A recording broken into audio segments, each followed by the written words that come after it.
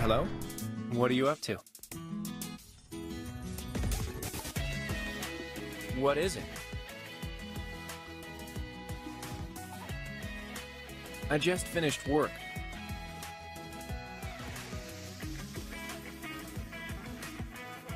To me, holidays and workdays are one and the same. I don't take time off. Why? You have something planned for tomorrow?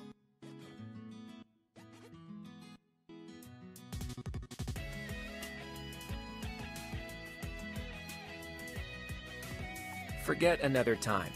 Let's go today. I'm free from right now till 9 in the morning tomorrow. Yeah. Um, what do people usually do on Firework Days Eve?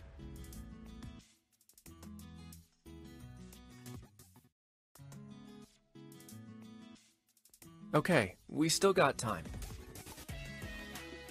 We've still got time for all of that.